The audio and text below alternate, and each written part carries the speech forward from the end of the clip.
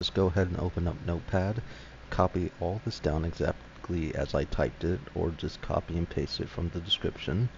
I'll also put more priority options down there as well. Then hit File, Save As, and name it app.exesetpriority.reg. Then go to Documents or wherever you saved it and double click the .reg file you just made.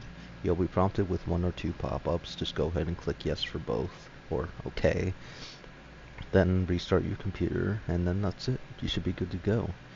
Now if you want to check to see if you've done it correctly open the registry editor app which you, you should already have pre-installed in your computer. Go all the way to where the Fortnite executor is under image file execution options.